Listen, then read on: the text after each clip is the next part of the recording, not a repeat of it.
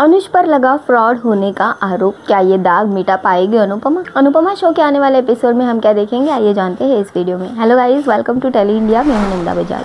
इन दिनों शो का ट्रैक काफ़ी इंटरेस्टिंग होता दिख रहा है। शो में हाई वोल्टेज ड्रामा जारी है। तो कहानी काफ़ी ट्विस्ट एंड टर्न्स के साथ आगे बढ़ रही है। इसी के बीच हमने देखा कि मीनाक्षी और सागर की शादी हो चुकी है और अनुपमा ने उन्हें एक्सेप्ट भी कर लिया है।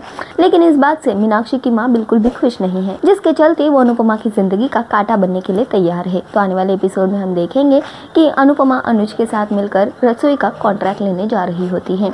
नया अपना बिज़नेस शुरू करने की तैयारी में है। लेकिन ये बात से बिल्कुल भी खुश नहीं है मीनाक्षी की माँ, जो कि अनुपमा को जाते ही टोक लेती है और उसे कहती है कि शुभ काम के लिए जा रही हो तो दही शक्कर खाकर जाना बनता है। लेकिन वो दही शक्कर की जो बाउल होता है उसे गिरा देती है और ड्रामा करने लग जाती है कि अरे, ये तो अपशकुन हो गया। लेकिन उसी के बाद पूरे कॉन्फिडेंस के साथ अनुपमा उस कॉन्ट्रैक्ट डीलर से बात करने के लिए पहुँच जाती है और उनके सवालों के जवाब भी देती है। तो वही वहाँ वो पूछते हैं कि तुम्हें इस रसोई की आइडिया कहाँ से आई? तो अनुपमा अनुज की तारीफ़ करते हुए कहती है कि मुझे इस आइडिया के बारे में अगर किसी से मदद मिली हो तो वो अनुज कपाड़िया है। आप तो इन्हें जानते ही होंगे। एक, ये बड़े बिजनेसमैन है और काफ़ी जाने माने भी है।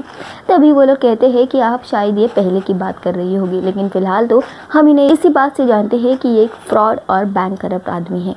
ये सुनने के बाद अनुपमा, अनुज दोनों ही हैरान हो चुके हैं। देखना होगा कि अनुज पर लगे इस दाग को अनुपमा कैसे मिटाती है। अनुपमा शो के आने वाले एपिसोड्स के लिए टेली इंडिया के साथ बने रहिए।